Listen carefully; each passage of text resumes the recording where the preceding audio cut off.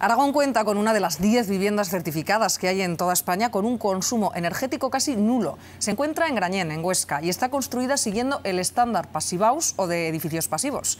Su aislamiento térmico, el sistema de ventilación y el control de infiltraciones permite ahorros en la factura eléctrica de hasta un 90%.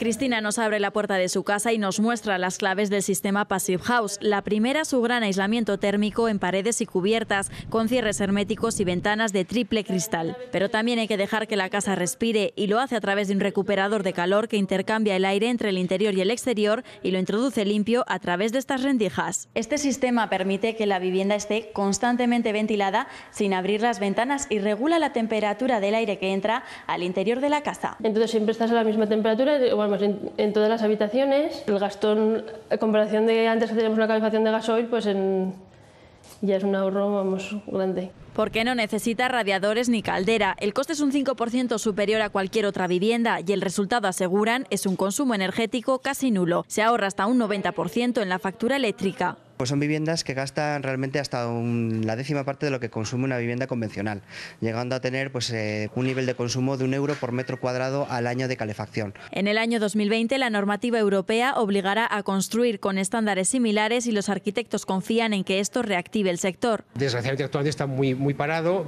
y este es un nuevo ámbito que parece que tiene un nuevo impulso. Se van haciendo cosas de este tipo, a lo mejor no certificadas, lo cual es una garantía, pero bueno, sí que siguiendo estos principios. Esta es la primera vivienda certificada de Aragón, pero hay planteados otros cuatro proyectos más de este tipo en la comunidad.